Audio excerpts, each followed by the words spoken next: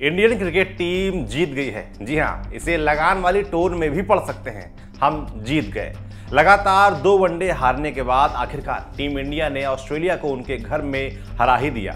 सबसे पहले तो विराट कोहली ने सीरीज़ में पहली बार टॉस जीतकर पहले बैटिंग का फैसला किया। शुरुआत बहुत अच्छी नहीं रही। टीम ने एक सौ बावन तक अपने टॉप पाँच बल्लेबाज गंवा दिए, लेकिन इसके बाद हार्दिक पांड्या और रविंद्र जडेजा ने कमाल कर दिया। दोनों ने छठे विकेट के लिए डेढ़ रनों की पार्टनरशिप कर डाली। भारत ने 302 रन बनाए। जवाब में खेलने उतरी ऑस्ट्रेलिया। डेविड वार्नर थे नहीं। ऐसे में अरोन फिंच के साथ आए मानस लाबुशेन। यहाँ से कमान संभाली भारतीय गेंदबाजों ने। जसप्रीत बुमराह ने कमाल की बॉलिंग की। दोनों ही ओपनर्स को जमकर परेशान किया। लगातार बने प्रेशर का फ़ायदा मिला डेब्यू कर रहे नटराजन को। उन्होंने छठे ओवर की पहली ही बॉल पर लाबुशेन को बोल्ड मार दिया। एक छोर से फिंच टिके रहे, लेकिन दूसरे एंड पर आने वाले कंगारू बल्लेबाज लंबी पारियाँ नहीं खेल पाए।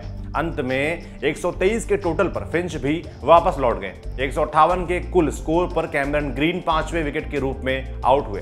फिर ग्लेन मैक्सवेल ने पचासा जड़ा। उन्होंने मैच लगभग निकाल ही लिया था, लेकिन बुमराह की एक यॉर्कर ने उनके डंडे उखाड़ दिए। यहीं से मैच पलटा और अंत में भारत ने इस मैच को तेरह रनों से जीत लिया। जीत के बाद कैप्टन विराट कोहली बेहद खुश नज़र आए। उन्होंने अपनी टीम की खूब तारीफ़ करी।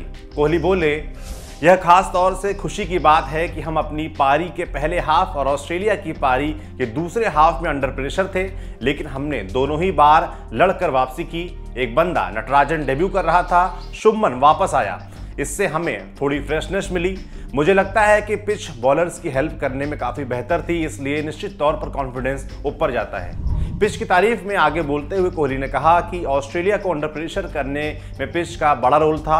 वो बोले, हम ऑस्ट्रेलिया को अंडर प्रेशर कर पाए, क्योंकि पिच से मदद मिल रही थी। अगर आप 13-14 साल से इंटरनेशनल क्रिकेट खेल रहे हैं तो आपको ऐसे कम करने चाहिए, जैसा हमने किया। हार्दिक और जडेजा के बीच बेहतरीन पार्टनरशिप हुई। ये कुछ ऐसा था जिसकी टीम को बेहद ज़रूरत थी। भले ही हम सीरीज़ हार गए, मगर हम पूरे दिल और इच्छा शक्ति से खेले और ऑस्ट्रेलिया में आपको यही करने की ज़रूरत होती है। टीम इंडिया ने सीरीज़ के पहले दोनों वनडे गंवा दिए थे। अब 4 दिसंबर से शुरू हो रही टी सीरीज़ से पहले मिली ये जीत। निश्चित तौर पर टीम का मनोबल बढ़ाएगी। बाकी टी सीरीज़ में जो होगा, वो भी हम आपको यूँ ही बताते रहेंगे। आप देखते रहिए दी लल्लन टॉप। शुक्रिया। फेसबुक पर क्या फैला?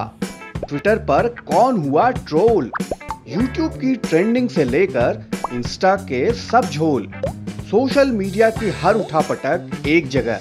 सोशल लिस्ट सोमवार से शुक्रवार रात 10 बजे दी लल्लन टॉप पर।